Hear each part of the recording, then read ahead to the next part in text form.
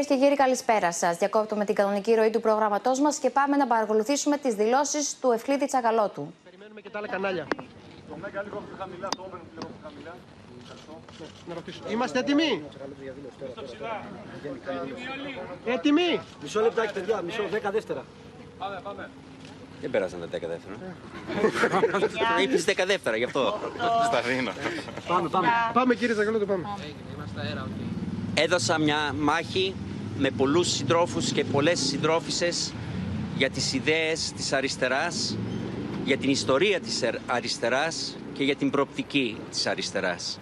Κατά την άποψή μου, μόνο με αυτόν τον τρόπο μπορούμε να έχουμε μια ουσιαστική αντιπολίτευση στην καταστροφική κυβέρνηση της Νέας Δημοκρατίας. Ευχαριστώ από την καρδιά μου όλους τους συντρόφους και τις συντρόφισσες που βοηθήσανε, όλο το κόμμα, όλη την νεολαία. Και θεωρώ ότι ε, βάλαμε μια πολύ σημαντική παρακαταθήκη.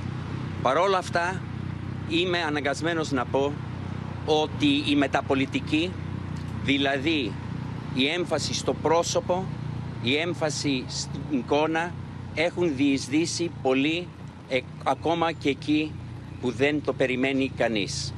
Έναντι, ενάντι, αν, έναντι στην ουσία της πολιτικής.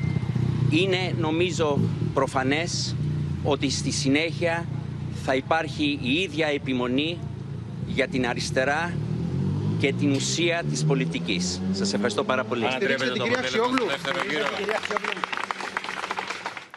Κυρίες και κύριοι, επιστρέφουμε στην κανονική ροή του προγράμματός μας. Για οτιδήποτε νεότερο θα διακόψουμε και πάλι. Προς το παρόν, καλό σας ξημέρωμα.